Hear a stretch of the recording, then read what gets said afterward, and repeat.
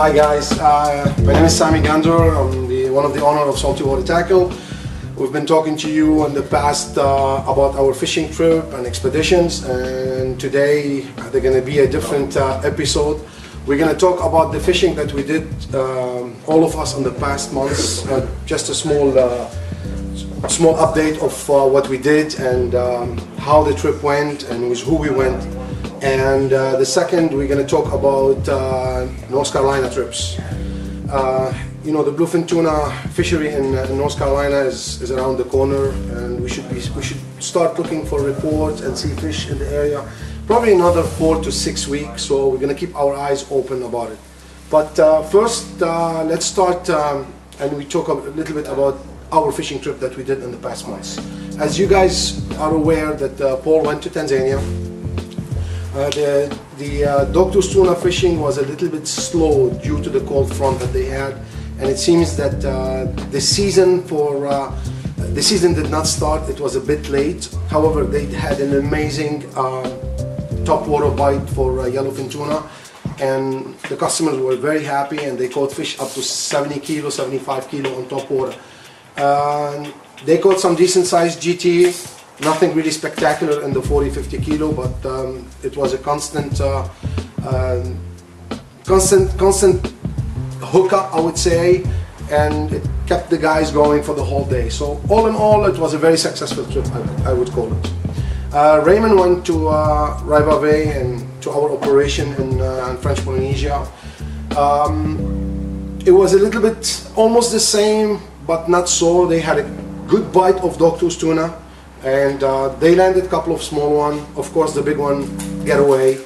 Uh, the highlight for his trip is uh, they had nice GT on the last day, estimated from 50 to 55 kilo, and they've seen some bigger fish in the area.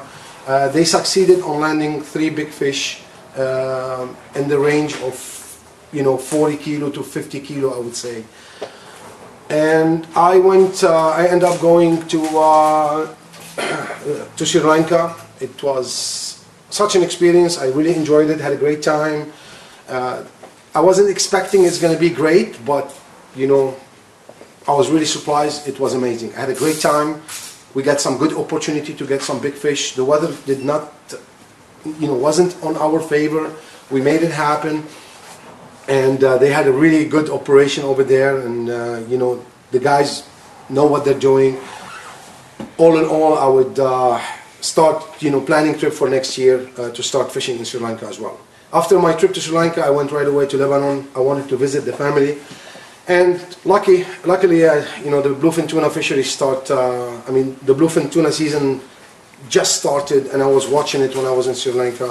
It really got heated up and we had some amazing top water feed that uh, actually Evan, I'm, I'm, passing the, the video for Evan today and he will do the editing later. We went, uh, on the best day, uh, we went six out of eight on top water and it was an amazing feed, beautiful turquoise water, um, fishing in, in shorts and you know in t-shirt. So it was all in all, it was great.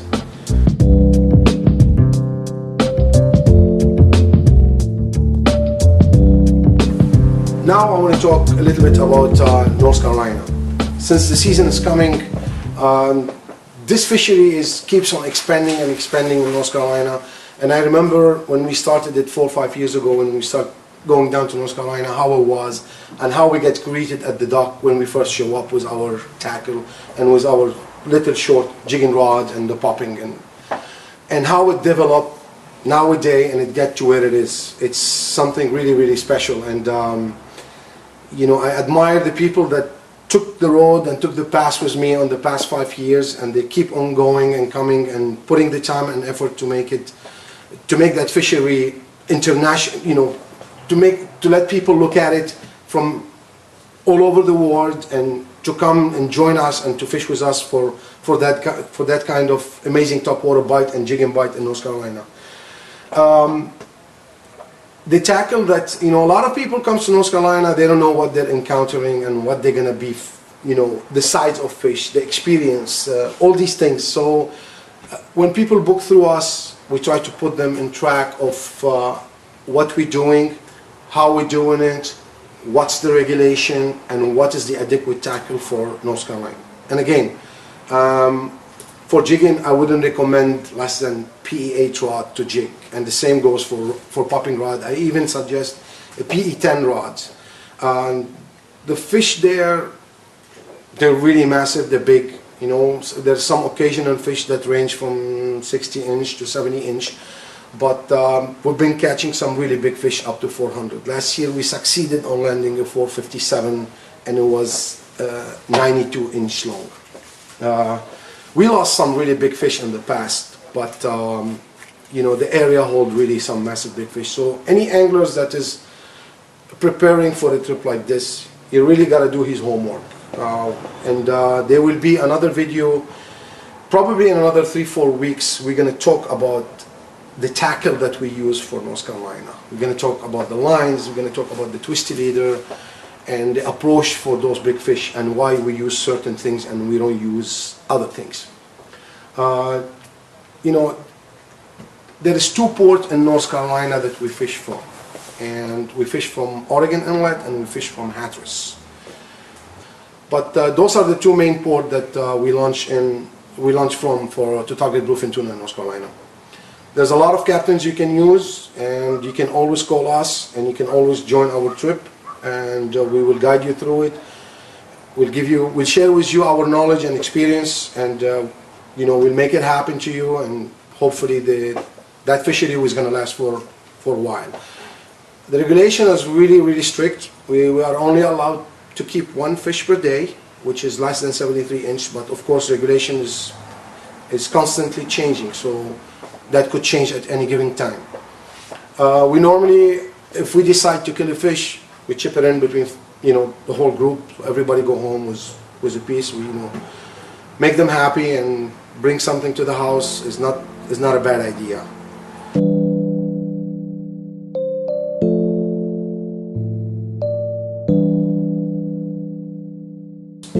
We basically moved all our trip starting in March, beginning of March.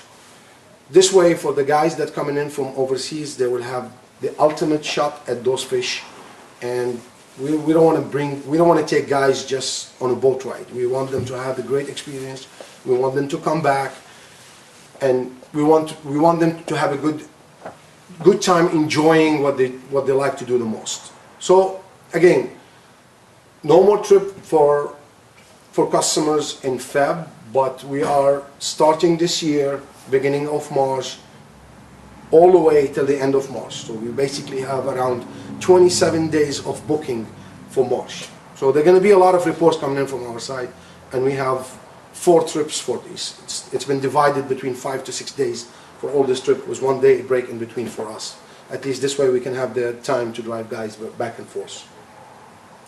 Um, concerning, concerning the tackle that we use, I'm going to talk a little bit about lures this time, and uh, the reason why we like to use these kind of lures. Okay, I personally don't encourage people to use poppers, and there's a reason for it. I mean, you can catch a fish on popper in North Carolina, no doubt about it. Those fish are hungry, they're starving, they come from the deep, and they've been traveling. Some of them comes in, you know, there's two body of fish actually comes in. One comes in from the med, and another one comes in that hug the shore, our shore, and comes all the way from the north and go down south. Those fish that comes in, they hit the continental shelf and they go up. When they go up, they've been traveling for a long time, they're starving, they're hungry, you basically cast any lure or stick bait, you get a bite. And uh, let's not be picky about what you need to cast. However, I'm in favor of longer lure. And the reason for that is I've seen so many fish in the past getting hooked up on a smaller lure, probably five to six inch. And because of the size of that fish, what happened is it end up swallowing the lure with a treble hook. And I've seen so many bloods coming out from it. I'm not saying that um, I don't take fish, I do take fish home, but I don't want to waste that fish. If there is a way to revive it and have a successful release, I'm in it 100% and I like to see that. Um, so basically, I, I switched to a single assist hook on the lure and a single hook on the back and giving the uh, Shout Kodako hook uh, as the best as the best hook for this kind of application. The assist hook, we run, normally run it to run all the way from the nose over here to the belly. One single assist hook. And the other one would be one on the back. And sometimes, you know, there's, there's a lot of guys that prefer to use one single assist hook without even using a hook on the tail, which is as well, as well as a good idea because basically you avoid having that back hook attached to the head of the fish and will eliminate that problem that the fish is hooked up on the side, is fighting you on the side.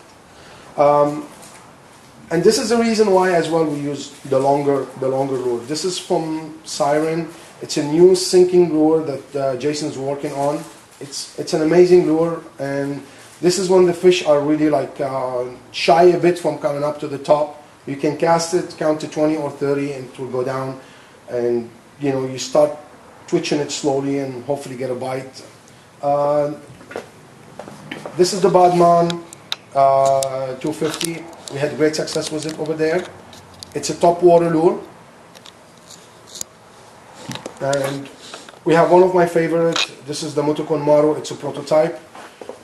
We really had great success on these stick baits. I mean, from day one. Really, really good lures. Uh, the only problem is they're not easy to find. I mean, and Tosa-san is, uh, is a one-man job. So, you know, big problem on getting a batch more than 20 piece. Uh, this one is the lure that was accounted for the big fish we landed last year. Okay, we had two of these. One of them is on the shelf, and that's the second one. So this is the kind of uh, stick bait we're looking at, anywhere from 25 uh, to 30 uh, mm. ASWB from Australia. That's a good size as well.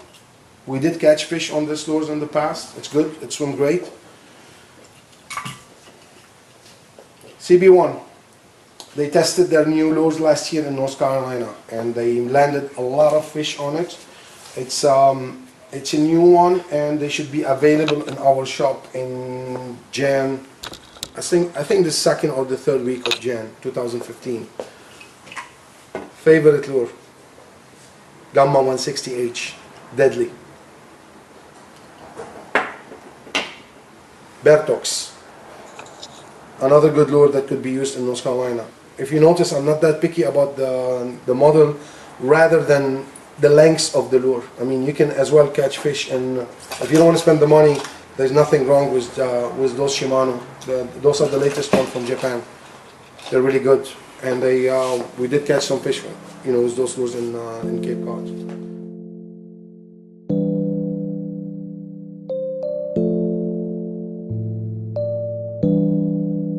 Um, my favorite jigs for North Carolina is uh, the hot drift tune. I love those jigs. They flutter all the way down, on the way down. Um, good presentation. They get the attention as well. And you know you can use those from 240 to 330 depends about depends on the current really is like one of my favorites, and I, I love those jigs. They, they're great. Uh, the other one is the uh, as well. It's it's, it's the shots. It's uh, shabu shab, and um, as well the presentation is good. You know they flutter on the way down, and these kind of jigs, you can both use it for conventional setup and for spinning setup, and they they're proven. I mean, you know we we caught a lot of fish on those jigs. Um, one of my favorites Okay, I wish that this jig actually comes in in 300 gram. This is the shout to this. I will never ever travel anywhere without having two of these jigs with me. They come in 180 gram and 210 gram. They are, they had an amazing, amazing fluttering action, and they are really good. They're not expensive, and they produce fish. You know, the only problem is if the current is really strong, you can't use them. And the latest is from CB1 uh, Zero. This one is good for conventional setup, and uh, you know we used it. It's proven. It's a it's a it's a good jigs as well. Uh, gotta make sure whenever you use those jigs, or you use the uh, the stick the stick bait uh, to have the hook wider than the stick stick bait and wider than the the jig So as a matter of fact, you want, you want the jig to pass through completely up and down and be free. And the same goes for, for the lure. Uh, if you choose the 7-0 for this lure and you're gonna cast with an assist, it's gonna probably hook the bag. When, whenever it's gonna hook the bag, the only exposed hook is gonna be the one on the back, on the tail. And it's not really appropriate. You know, bluefin tuna tend all the time to hit the head. They go for the head all the time. So what happened is, you know, you're retrieving your lures and all of a sudden, you know, what happened is the fish comes in, they come in for the head, and when they hit the head, they flap with the tail. They try to break, you know, to break the, uh, the, uh, bait. And that's why most of the time, 90% of the time, you see basically the hookup comes in from the assist, from the assist hook. It's because of that reason, you know. Tuna tend to hit the head. They go for the head. They don't go for the tail. So you gotta pay, you gotta pay attention to your, uh, to your stick bait. All the time, what I keep on telling guys, especially new guys that comes into fish for, for those bluefin tuna, is they cast and they talking to each other and this and that. Really, you gotta concentrate of, on what you're doing. So, and, and this is, this is good, I mean, it's good for you and it's good for the, for the fishery. Because basically what happened is, you're casting that lure and you keep your eyes on that lure and you focus on that lure and your brain is going to react as soon as you're going to see that hit so whenever you see that hit you're going to you know you're going to set the hook and when you set the hook you're going to have that ultimate hookup on the side over here when you're not paying attention to it and you're talking and that fish comes in and swallow it and i've seen it too many guys the whole lure is going to end up inside the mouth inside and this is when the damage is done to the fish so we try as much as we could to preserve them for our kids and children. You know, I want to fish one day and I want to see my kids next to me fishing and targeting bluefin tuna. We talk about this a lot in the house. So, you know. Um, next week we will be talking about um, our system leader that we use and the kind of setup we use for uh, in terms of line, line capacity, reel, uh, stuff like that.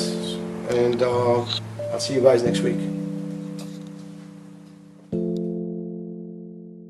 Hey, how's it guys? Just hanging out here with uh, Sami and the Salty Water crew. Just flew in, had lunch with these guys. It's good to have you, man. This is another uh, GT maniac from Hawaii. He started it, uh, you know, the catch and release in Hawaii. So he's really doing a catch and release. You know, Ulua is very well known in Hawaii to catch and kill, but Charles is doing an amazing, amazing job on catching and releasing uh, the fish. Raymond, Raymond and yourself uh, went last uh, this year uh, to Hawaii and you guys had an, an amazing experience with him. You, I, I, think you guys caught like 35 GT in three days, four days period? So I'm looking forward for uh, joining next year. I'm gonna go and fish in Hawaii. I've been to Hawaii three times. I've seen GT on the water when I was swimming, but I never fished in Hawaii. So that's gonna be my first GT uh, trip to Hawaii. Yeah. Looking forward. Yeah. See. Thank you for stopping by. Yeah.